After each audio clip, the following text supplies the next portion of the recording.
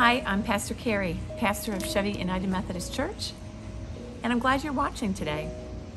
I'm here to just talk about how excited I am that, you know, COVID is, is, is kind of, uh, the restrictions are off and we are back in live worship.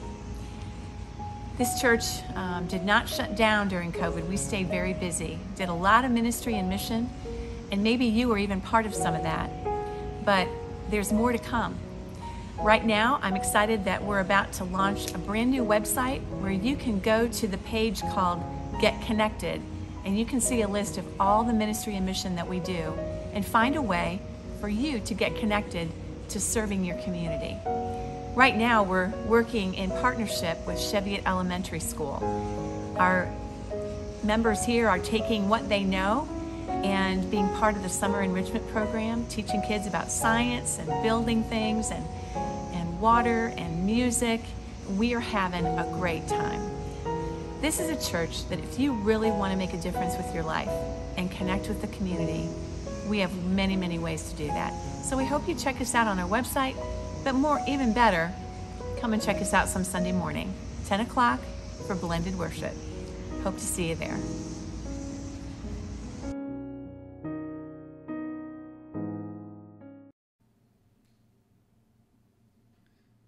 A few brief announcements for this morning. Every Sunday, the kids are welcome to join us in church, but on the first Sunday of every month is Super Sunday for the kids, and that's coming up next Sunday, July 4th. So have it's for kids fifth grade and below, and have your children in the foyer at 9:45, and the children under two years old will go to the nursery. A note about July online worship due to vacation schedules July online worship services will be not be available until Monday for viewing. And on Saturday, July 10th, from 4 to 6th, is a special event celebrating the Cheviot Summer Enrichment Program. Several of us have been involved every Thursday in June with the kids, and this event on the uh, 10th is a celebration of all that, and not just for families, teachers, and students from Cheviot School, but everyone here at Cheviot Church also.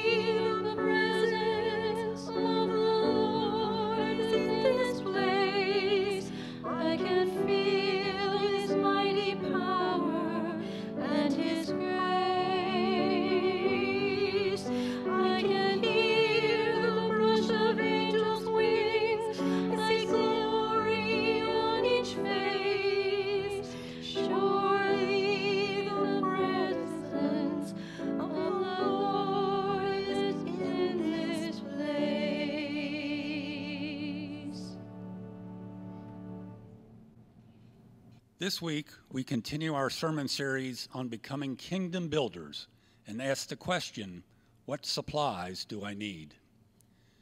Churches today are struggling to maintain their place in society. The world would say that they lack people, they lack resources, they lack influence. But God's Word says that the Spirit of Christ will provide all that is needed to build His kingdom. Could it be that everything that the church needs has already been provided? Where do we go to get what we need to build the kingdom of God? We need look no farther than the indwelling presence of the Holy Spirit in the lives of Jesus' followers. I'll build my life. And it's talking about building our life on the truth of God and God's love. And that's what's makes us able to go out and share God's love. And we're talking about the indwelling of the Holy Spirit, how God anointed us to go out and spread the good news.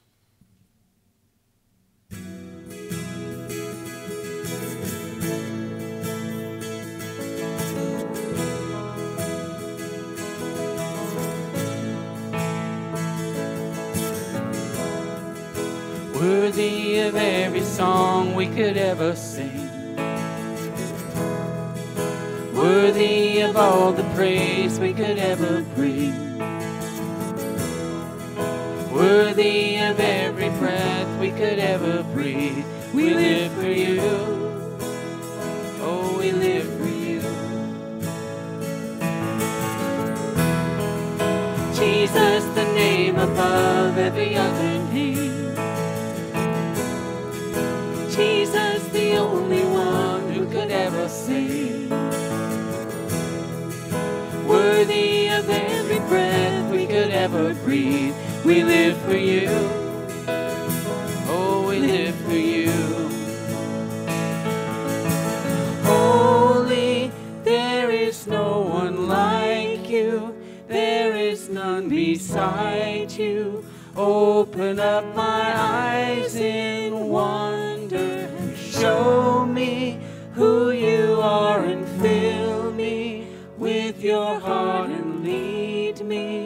in your love to those around me.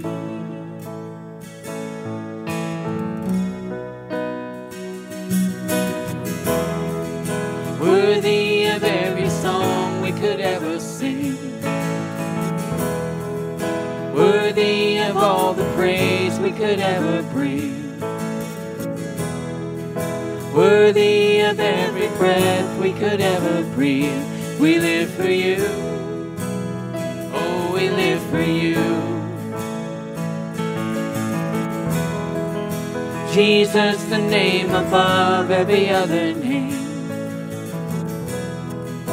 Jesus, the only one who could ever save.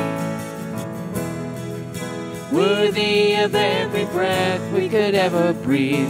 We live for you. Oh, we live for you.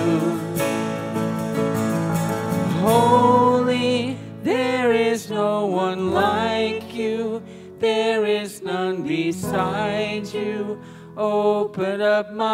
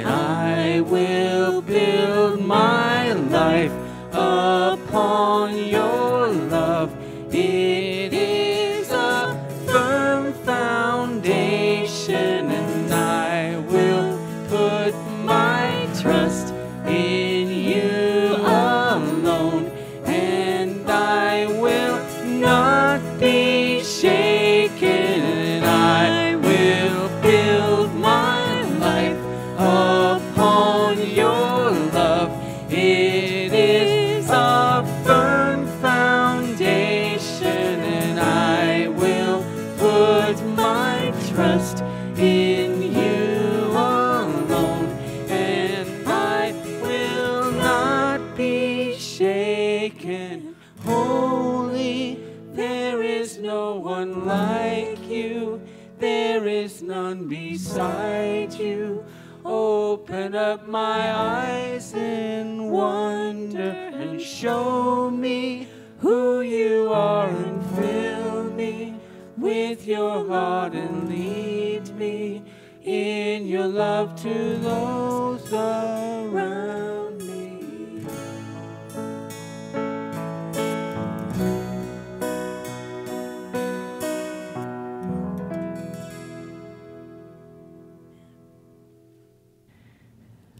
Well, this is good news for all of those who have ever felt inadequate to serve God.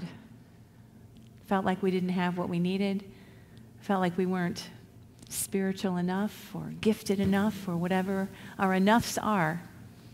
The promise of the Holy Spirit who comes to live in us, those who believe in Christ, who will give us all that we need. And part of how we activate that belief and remember that is in prayer. So today we're going to pray for all of us, all believers. Can you imagine the impact that the church could have if every single person who followed Jesus Christ knew their gifts and used them? That's our prayer today. But I know that there are people and situations on your heart this morning, people who you are concerned about, situations in your own life, in your own family.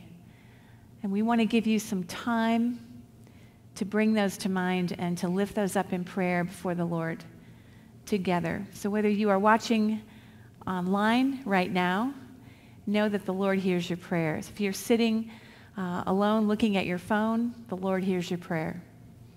If you're here in the sanctuary with us, the Lord hears our prayer. Wherever you are, He hears you.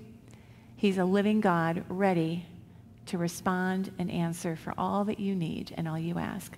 Let's take a few moments of silence and then we'll pray together.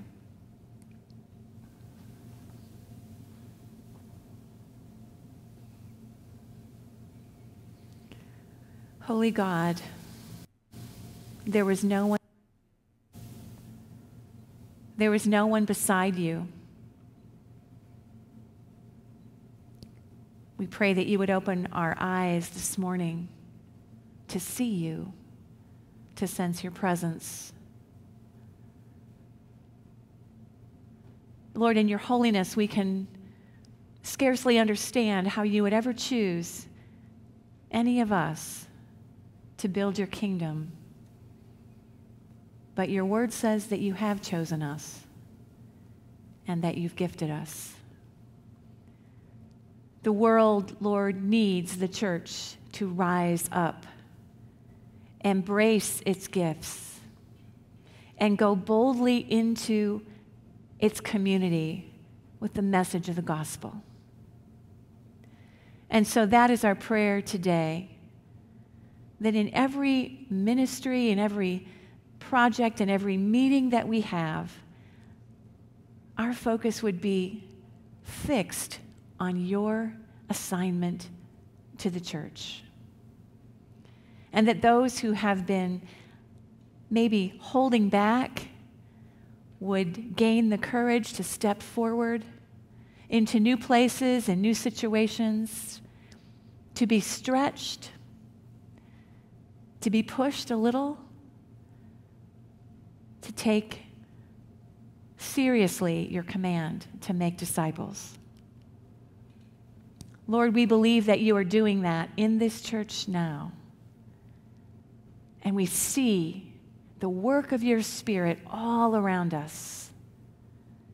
We are grateful, but we know that there is more. Give us open hearts, give us willing hearts, and give us the courage to build your kingdom. And now, as your disciples, we pray the prayer you taught us to pray together, the prayer that defines our mission. Our Father, who art in heaven, hallowed be thy name. Thy kingdom come, thy will be done, on earth as it is in heaven. Give us this day our daily bread and forgive us our trespasses as we forgive those who trespass against us. And lead us not into temptation, but deliver us from evil. For thine is the kingdom and the power and the glory forever. Amen.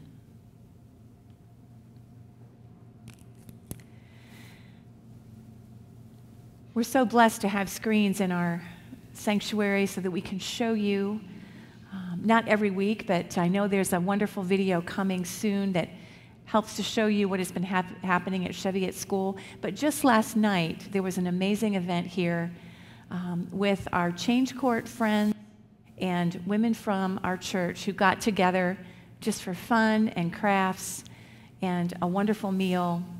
We are making friends, we're forming relationships with people that we would never have met apart from this church and your giving. Your giving makes things like this possible. We thank you in advance for all that you're doing, for your faithfulness, and for all that God will do through that faithfulness.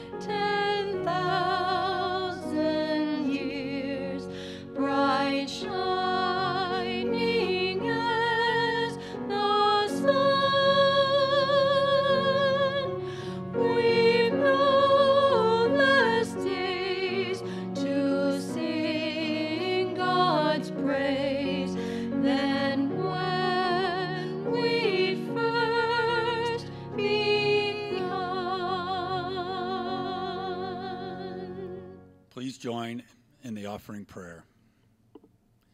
Gracious God, we thank you for trusting us to reflect your glory, for claiming us as your own with all of creation. As you receive these gifts and offerings, continue to strengthen and guide us in the way of life, that we, that we could build your kingdom through the use of these gifts. Amen. Today's scripture is from 1 Corinthians chapter 12 verses 4 to 11.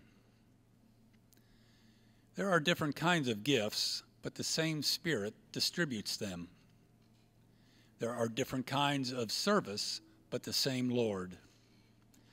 There are different kinds of working, but in all of them and in everyone, it is the same God at work. Now, to each one, the manifestation of the Spirit is given for the common good.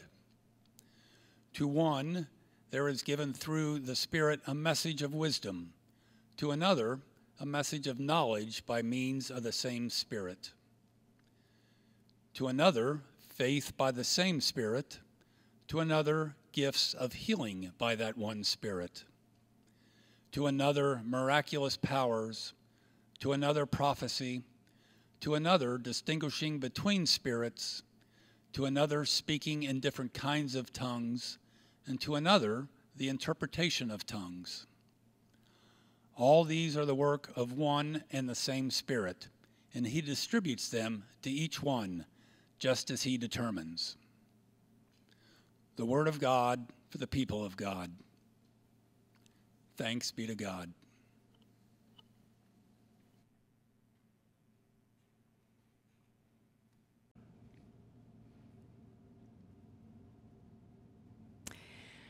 Well, there are two questions that I bet every one of us has heard, or anyone involved in church, the church life at all, in the last month. I'm going to, as, as I ask the first one, you can raise your hand if you've heard this question. Here's the first one Where are we going to get that? How many have heard that one before? And the second, who's going to do that? Have you heard that one? We're sitting around, we've got a great idea that comes up, and we're all excited, and then the questions who's going to do it? Well, today I've got really good news for you because I'm going to answer the second one. Before you leave today, you're going to know the answer to that question Who is going to do it? One thing that I've learned about doing building projects at Redbird Mission when we were down there last year is how faithful the team is in answering the most important question before they go to a job site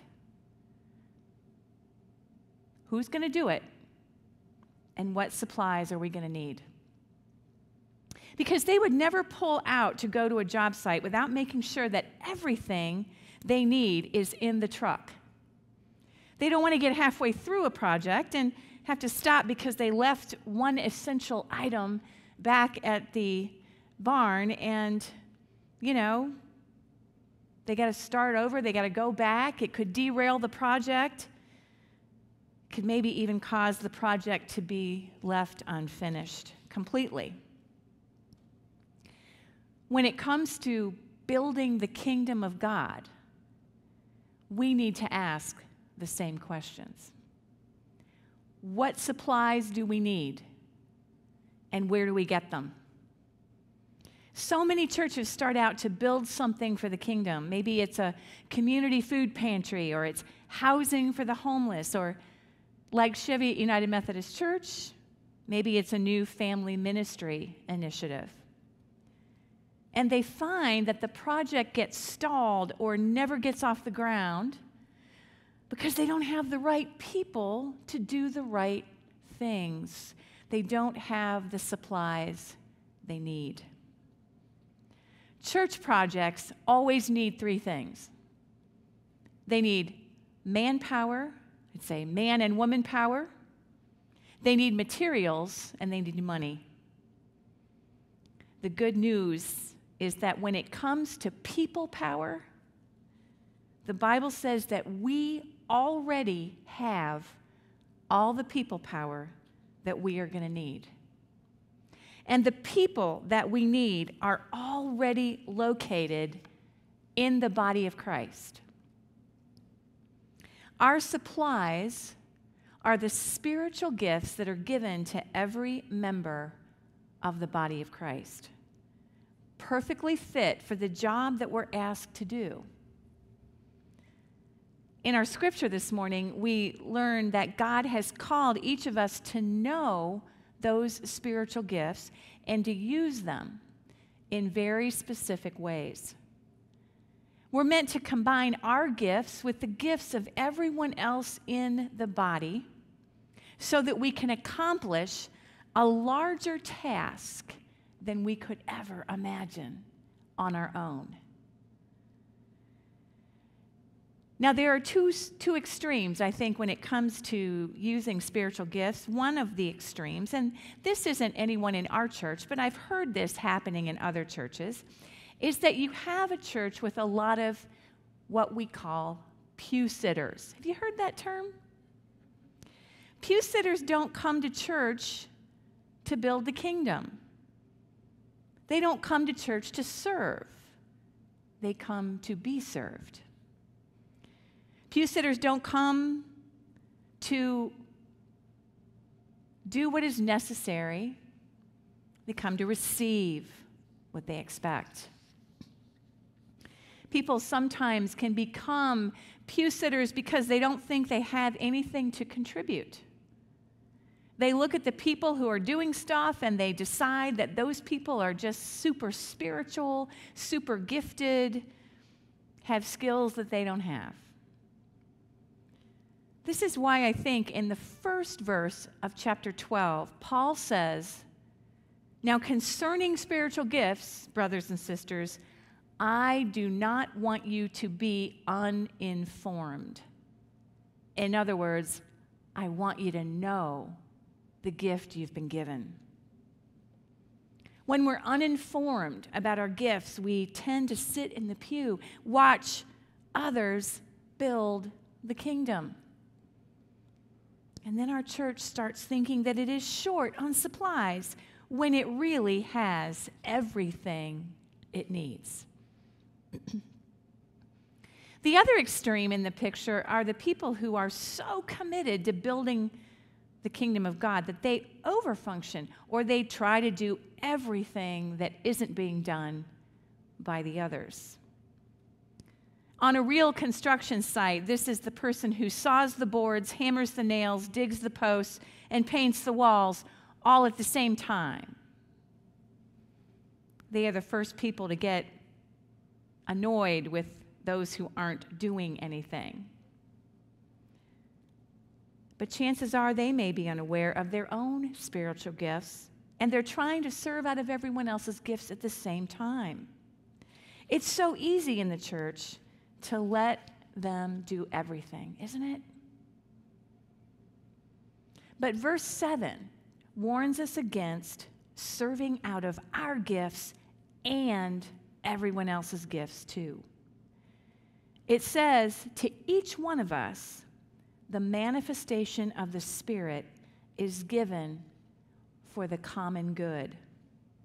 Common good means everybody in the body, not just a few people. So, when each person in the body learns about and uses their spiritual gifts by saying yes to God's best for them and no to the rest of it, God is glorified and everyone benefits. The church functions as it was meant to function. So, what does that look like when each one uses the gift they've been given? Some have been given more than one gift, but when they use it according to how they've been gifted, how does it benefit the body of Christ? Well, depending on what scripture you're reading, there are anywhere from 15 to 25 different spiritual gifts listed in the New Testament. There are gifts of administration, of pastoring, of faith giving, helping, serving, hospitality, mercy. There are gifts of wisdom, prophecy, evangelism, leadership, and teaching. There are gifts of discernment, knowing what is right and what is wrong, miracles, and healing. Now, some of these are self explanatory, but others you might not know what they really are. So let's think about it this way. Suppose this morning, just as we're getting ready to worship, someone sits down holding a cup of coffee and spills coffee all over the pew and all over the carpet. This is how the scenario would unfold if we were all using our spiritual gifts. Are you ready? So the person with the gift of service would say, Oh, let me help you clean that up. The person with the gift of mercy, I'm so sorry that happened. You must feel awful. Let me get you another cup. The gift of giving, here, take my cup. I've got another one. The gift of administration, let's see. We've made 12 cups of coffee this morning. We've used seven so far. That means there should be at least five cups of coffee left. We have enough to get you another fresh cup. Faith, where God empties one cup, he fills another. The gift of teaching. Here are the three best ways to carry a full coffee cup so that it doesn't spill the gift of exhortation. Maybe you should let someone else hold your coffee from now on. The gift of wisdom. No use crying over spilled coffee. The gift of miracles. Let's ask God to put the coffee back in the cup. Healing. I'm praying over any emotional or spiritual trauma caused by that spilled coffee. Prophecy. If you keep carrying coffee that way, I see another spilled cup of coffee in your future. Now, these are called spiritual gifts for a reason. They're different than our skills. Skills are something that we have developed in ourselves over time, and they basically benefit us and they advance our interests. They can also serve the church. We're grateful for the skills of the people in our congregation. But a spiritual gift is given to us to benefit others and advance God's kingdom, which means that it helps others come to know Jesus in a particular way Skills are about us, but spiritual gifts are about Christ. When we use our spiritual gifts, the world sees the power of God working through his people to do what only he can do, what is beyond our abilities. It's activated when someone allows the presence of the Spirit to work through them, to do something they could not accomplish on their own. One of the best examples of this is a person, and maybe you've seen this or heard about it, someone who stutters horribly, has a hard time carrying on a conversation. But when they stand up to preach, the words come out flawlessly. That's a spiritual gift. That's something beyond that person's ability given by the Spirit of Christ. Spiritual gifts kind of ooze out of us without much effort on our part. They're so natural to us that we're not even aware that we're using them. It's the gift of faith that sees possibilities that no one else can see. It's the teacher whose words help people see clearly without even trying. It's the person with the gift of mercy who knows just the right thing to say without preparing in advance. It's the person in Bible study who can find just the right scripture and apply it to the discussion at hand. It's the person who knows instinctively how to bring out the best in people and mobilize them to reach a desired goal. That's leadership. These gifts can certainly be fanned into a flame, as the Bible says, improved over time, but they, are, they exist inside of a person and should be nurtured in order to build God's kingdom. It's always been interesting to me that this scripture comes right before that famous love chapter in 1 Corinthians 13, you know, the one that we often read at weddings. It says, Love is patient, love is kind. But this is how Paul intended it to be. In fact, all four places in the New Testament where spiritual gifts are detailed, they are connected with love. 1 Corinthians 12, 1 Corinthians 13, you can jot these down if you want to in your notebook. Romans 12, Ephesians 4, 1 Peter 4. God gives his people spiritual gifts as a way of expressing love to and for one another. Paul makes sure that we get the love part because it's possible for a church to have all of these gifts and still act in unloving ways. We can still act in a self centered or mean spirited way. But here's the cool thing as we use our gifts to express love for each other, the Spirit grows in us the fruits of the Spirit. Have you heard of these? Love, joy, peace, patience, gentleness, kindness, self control. That's why when you see a church begin to exercise its spiritual gifts, you will see a sharp decline in things like conflict and division and strife. Because when the Spirit is working through us, love will be growing in us toward each other.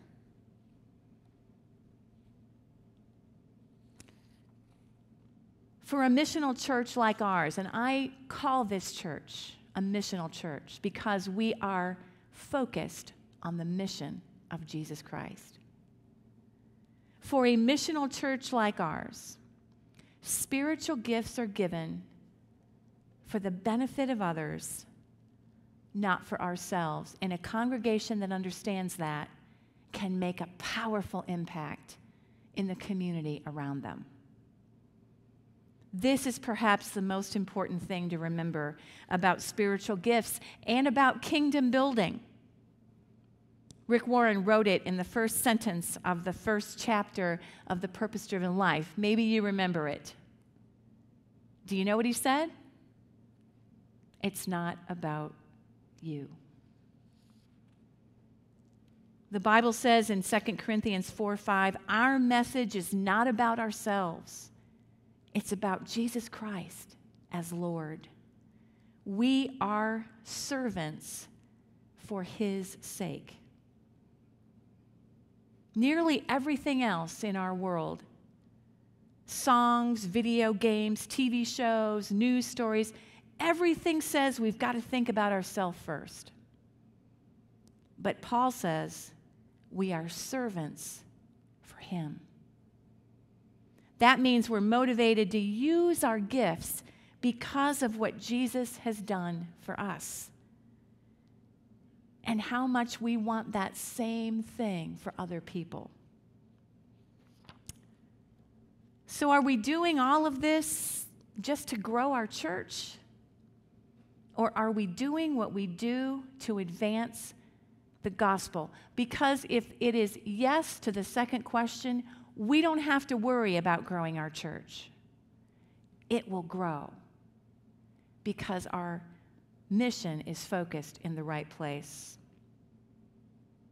Are we doing what we do to advance Jesus Christ for families, for children, for our neighbors, for everyone that God will lead us to reach? We must constantly be asking ourselves is this about us? or is it about Him? When we use our gifts in love to advance the gospel, we will have the strength and all the supplies that we need to see the project through to completion. His kingdom will be built, His kingdom will expand, and we will be part of it. Can you think of anything better? I believe it's happening here already because of those who are discovering and using their gifts to serve. But we're not finished yet. If you're unaware of your spiritual gifts, or if you haven't learned about them in the last couple of years, stay tuned because we're going to be holding our next class in August. Be watching for the dates. So when the question comes up, who is going to do it?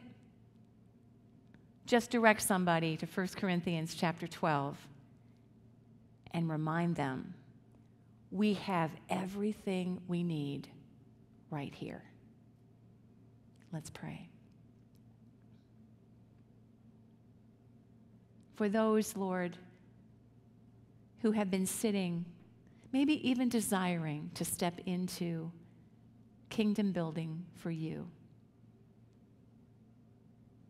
May their eyes be opened, their hearts be willing, and may this church embrace and use every spiritual gift that you've given us. We ask this in your holy name. Amen.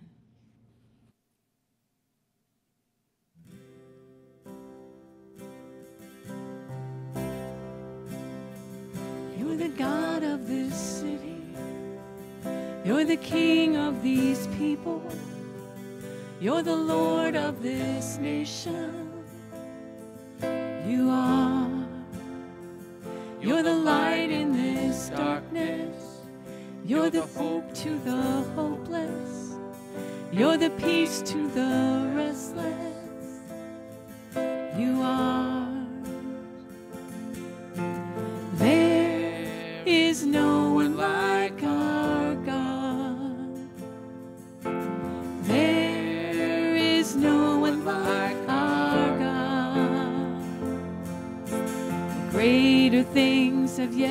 To come.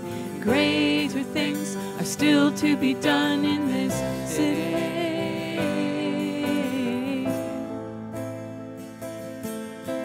Greater things have yet to come.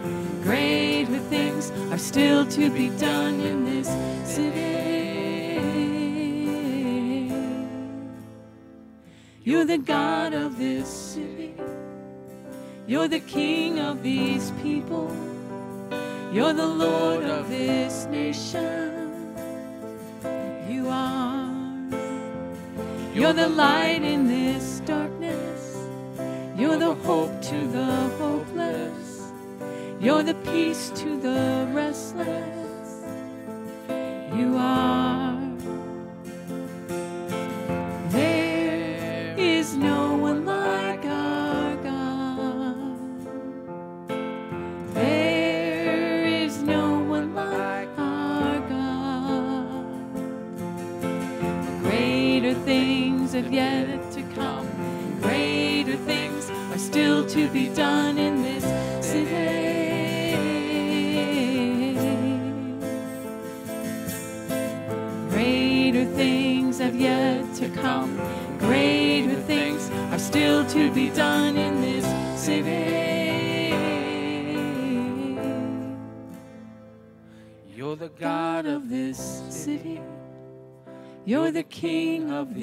people.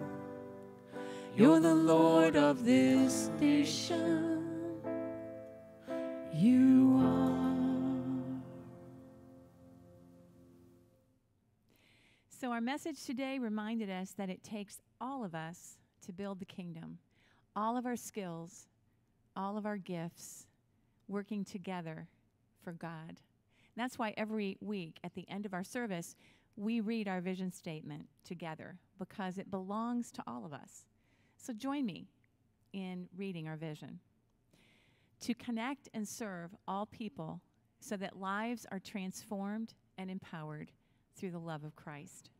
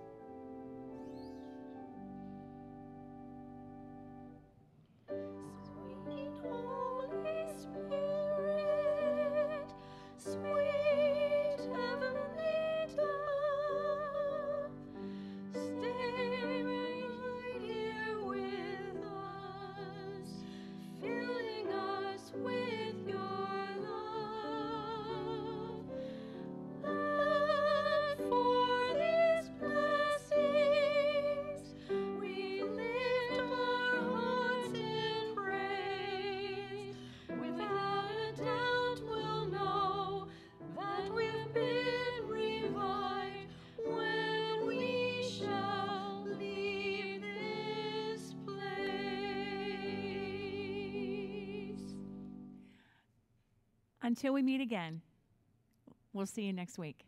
Jesus, Jesus.